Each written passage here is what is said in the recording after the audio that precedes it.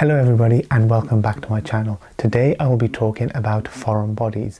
In terms of foreign bodies, they may only um, cause issues with the front of the eye or they may in fact actually penetrate through the eye and cause issues with various structures along the way and then end up at their final destination which is usually the retina.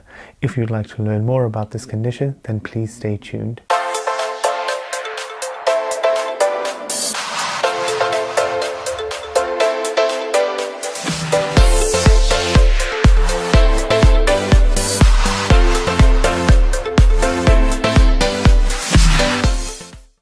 Indicated from my introduction, depending on where the foreign body actually ends up, that's what the foreign body ends up getting named after. So what I mean by this is if the foreign body exclusively causes issues with the cornea and that's where it in fact is embedded, then we refer to this as a corneal foreign body. Similarly, if the foreign body penetrates through the eye and the various layers and ends up in the retina, then we call it an intraocular foreign body or a retinal foreign body. In terms of what symptoms patients can experience with foreign bodies, these can range from a whole host of things, but commonly they can include pain, sensitivity to light, and watering. These classic generic symptoms tend to come about because of the fact that the front surface of the eye, the cornea, is the most sensitive part of one's body and it has exposed corneal nerve ends and that is why the condition tends to be so terribly painful.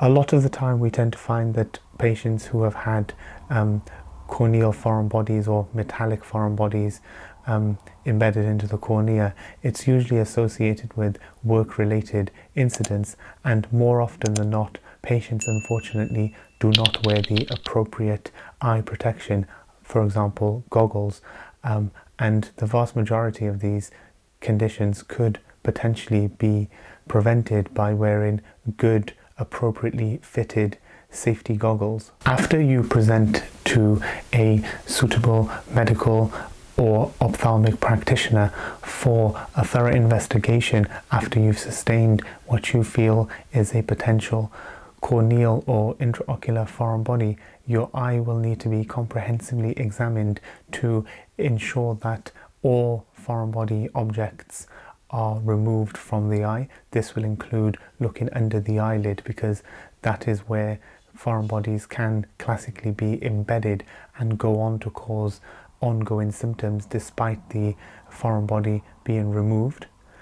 After this has been done, the um, back of the eye will also need to be examined and um, in a systematic approach, the layers of the eye and structures of the eye are examined from front to back to ensure that nothing is missed. Once this has been carried out and performed, this may actually need to be done with the assistance of some um, eye drops that contain anesthetic to make the procedure more comfortable for the patient. The um, practitioner will then endeavour to remove any foreign bodies that are present and visible, um, uh, classically embedded within the cornea. This can either involve using a needle or other devices such as a burr device. The ultimate goal is to remove the foreign body safely um, and to leave the cornea intact and then to prescribe the patient um, lubricant antibiotic ointment to ensure that any potential secondary infection and the risk of a potential secondary infection is negated by the prophylactic use of antibiotics.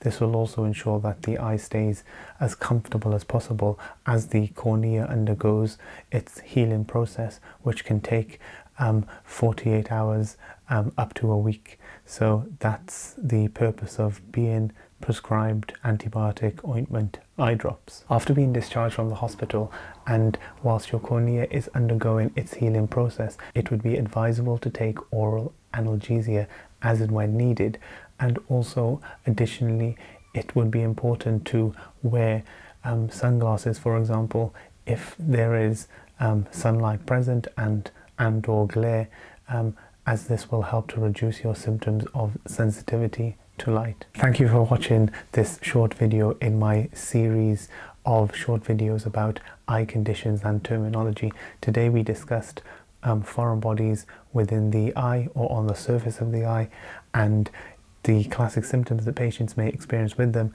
and how they are treated. If you have liked this video, please give it a thumbs up. Please, please do subscribe to the channel. Um, small channels and new channels require the support of um, followers such as yourself. Um, so I would please actively encourage you to subscribe to help my channel to grow. And um, if you would like to stay up to date with the latest releases, then please do click on the bell icon. Um, I would love to hear from you. Please do comment below. Um, have you had a foreign body? Have you had one removed? Um, what caused you to sustain your foreign body injury? Was it um, at work? Was it outside of work? Were you wearing goggles? Were you not wearing goggles? Please do let me know. Until the next time, thank you so much. Bye.